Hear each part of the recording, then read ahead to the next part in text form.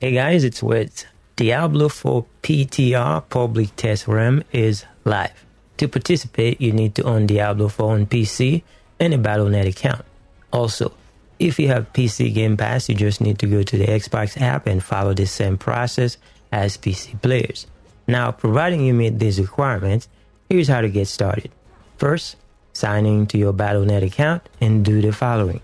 Now, once you are in here, all you gotta do just make sure you click on the game, whichever where you have it on your favorite, and then go down here where it says game version. You have the Diablo 4, that's the regular version, and then just click the drop down arrow, and then make sure you click on the public test realm. And once you click on that, you're gonna have the option to install it. It's gonna be around 94, 95 gigs, I believe, uh, but just download it and then you'll be able to play it.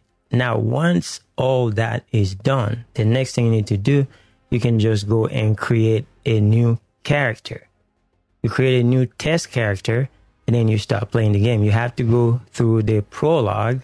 And then once you complete the prologue all the way to Kyovashad, and then that's when you go meet the boost NPC. Once you see that guy, you talk to him, and then you can boost your character to level 100.